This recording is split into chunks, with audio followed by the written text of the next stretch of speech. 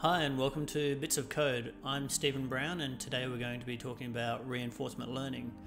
Reinforcement learning is a branch of machine learning. Uh, it's used primarily in gaming at the moment, uh, for example with AlphaStar and StarCraft 2.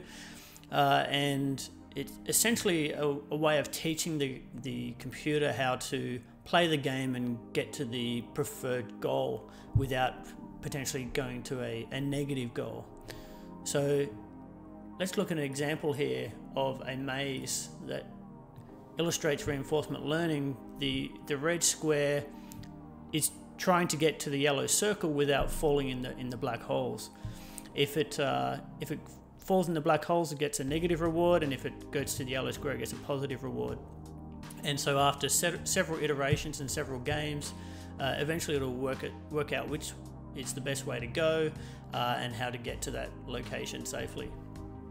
So in reinforcement learning, there are a few main components. Uh, for a start, there's the agent. This is essentially your bot. This is the, the computer algorithm that plays the game. There's the state, which is the game itself. So this is sort of the game board and the pieces on the board. There's the action, so these are the things it can do. There's the reward, which as we've talked about could be a negative reward or a positive reward.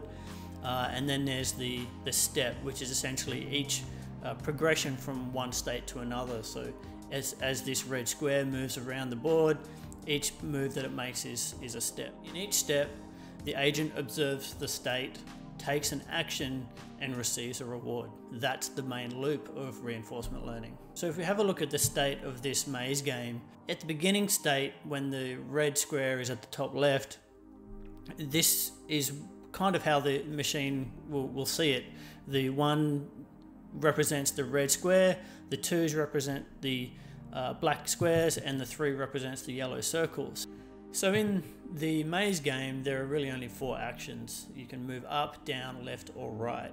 Uh, we don't really worry too much about the fact that in this beginning state you can't move left or up. It's, essentially, these land the agent back in the same state and they get a zero reward typically. So it's not such a huge deal. They will, uh, the agent will tend to learn to move towards um, the bigger states and not try those uh, actions that land them in, in, in the same location again. In StarCraft 2, the actions, the possible actions are, there's thousands of them.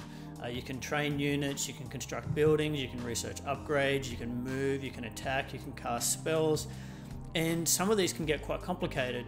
When you're moving or attacking, for example, you might move or attack on the screen, or you might move or attack on the mini map, and there, there are thousands and millions of possible coordinates that you could move or attack or do other actions on. So the action space for StarCraft 2 is extremely broad, uh, and that makes it a really complex problem to solve.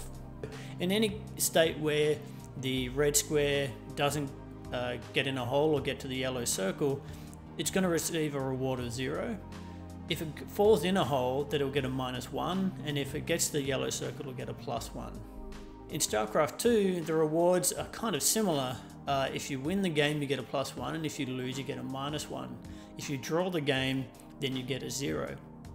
But those are just what we call sparse rewards. So, um, you know, the reward is only ever given at the end of the game, but this could be thousands and thousands and thousands of steps from the beginning of the game.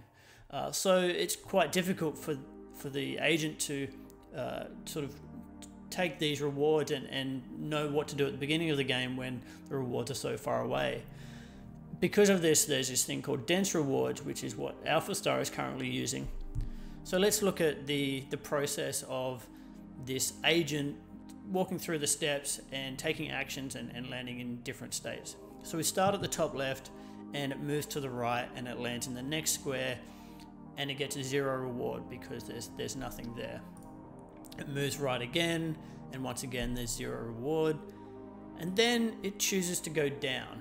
Uh, now it chooses these actions at random because it hasn't got any preference because you can see the, the value for moving up, down, left and right is zero. So it's going to choose one at random. And in this case, it randomly chooses to move down, it lands in the hole, it gets a minus one. But that's not it. What we actually do at that point is perform a calculation. So we take the expected reward and we look at the actual reward of minus one. We calculate the difference, which is obviously minus one. And then we have something called a learning rate. The, the learning rate is essentially a multiplier. So we multiply the difference um, by the learning rate and we get an actual reward of minus 0.1. Then what we do is we take our previous value of zero, expected value of zero, we take the new reward of minus 0.1 and we end up with a new uh, expected reward of minus 0.1. And we can see that here. In this state, it moves down, it gets a minus 1, therefore moving down uh, has a reward of minus 0.1. So if the agent ever gets into this state again, it'll know that moving down was actually a bad thing to do. So let's take it back and let's say that it didn't go down, it actually went to the right. Now it moves to the right, there's zero reward, no harm done. Now it moves down, moves down again, and moves to the left and gets to the end goal, it gets a plus one. So we go through the same process again. We expected that we would get zero because we haven't been here before. We take the actual reward of plus one, we calculate the difference, which is plus one, multiply it by the learning rate, and then add it to our previously expected reward and so we get a value of plus 0.1 for moving left in that state, as you can see here. So that's not it either, that's not everything. What actually happens is that reward will work its way back through to the beginning of the game. This can happen in different ways depending on the algorithm that's being used. Um, but essentially, if, if the agent follows that path repeatedly and it gets into to the previous states, the reward will start to work its way back up. And so we can step that through now. So we go from the, the winning state and to the step back, now we take a step back from there. So if we started in the state on the left where we're a couple of steps away from the from the finish and we choose to move down, then we know that the next state has a value of 0.1 as the maximum reward. This is you can see that on for, for moving left in that next state. So let's look at what we do with this calculation. We use uh, something called a reward decay to make sure that reward gets a little bit smaller the further away from, from the end state you get. So then the discounted reward becomes 0.09. We calculate the difference between the 0 and the 0.09, which is 0.09. Once again, we apply the learning rate of 0.1, so our final reward is 0.009. So let's talk about uh, a concept known as exploration versus exploitation. So we talked about previously, uh, if all of the values are zero, if up, down, left and right are all zero, then the agent will choose an action at random. What you have is this, uh, this value, which is kind of a, uh, you can sort of move the slider a little bit and choose how often your agent will choose a random action versus choosing the best action. So even if the, the agent knows that moving in a particular direction gets it a positive reward, you might want it to every now and then just choose a different action just to see what's there. And the reason why we do that is demonstrated here. You can see uh, in on the example on the left, the the red square goes down across and kind of goes into the corner and around to the to the yellow circle. And this takes eight moves. Whereas on the right, it goes around and goes straight to the yellow circle and this takes six moves.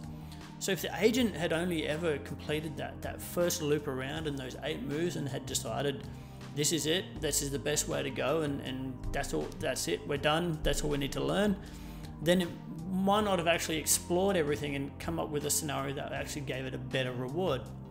Now as we saw earlier, the reward has a higher value uh, the closer you are to it, to, to that final state. And that's, what, that's why we have this reward decay. So that's why we have that 0.9 multiplier. You can see here moving down gives us a, a much smaller value than moving to the right. And then you might be wondering, well, why do we have this learning rate? Why do we multiply everything by 0.1 or whatever your learning rate might be? That's because if you take the full value, your agent might only learn one scenario that, that happens and it may not uh, take into account other scenarios that, that could happen. So in this maze game, nothing moves around, nothing changes, so it's fairly predictable. So the learning rate doesn't have a huge impact on, on what's going on. But let's take an example here where let's say you're in the in the square, uh, the second square in, and every now and then, when you move to the right, previously there was an empty square there. Every now and then that black square moves up. Say 20% of the time the black square moves up and you fall in a hole. And in that case, you might think, oh, maybe I should go down and across. So the agent, if it falls in that hole and you didn't have a learning rate you just took the full value, the agent would go, well, moving to the right is actually a bad thing to do. But 80% of the time, it's a good thing to do. And so you end up with these problems where your agent will either learn always go that way, and then it goes that way, and then it learns a bad thing, to never go that way again. Uh, and it might be the case that that particular direction to travel is the only way that, that you can go, and and you're really choosing between the 80% path and the 20% path, uh, and you'd be better off, you know, choosing the 80% path. And so if you if you discount it and you have a slightly smaller value going back, and that that learning rate applies, it gives the agent an opportunity to go, well, I fell in that hole this time, but maybe I won't fall in that hole next time. And it tries it again and it learns, okay, I fall in that hole every now and then. Uh, so this, you know, obviously in this game with the, with the maze, everything's very predictable. But in a game like StarCraft 2, you've got the fog of war, you've got an enemy that's doing things and researching things and building units that you can't see. So this kind of helps the agent to to say, well, you know, every now and then this thing happens or that thing happens and, and it won't just always assume that everything follows an exact path. And it gives it the ability to sort of factor in a range of scenarios rather, rather than one specific scenario. So that's it for reinforcement learning. Uh, we'd like to know your bits of feedback on, on this video.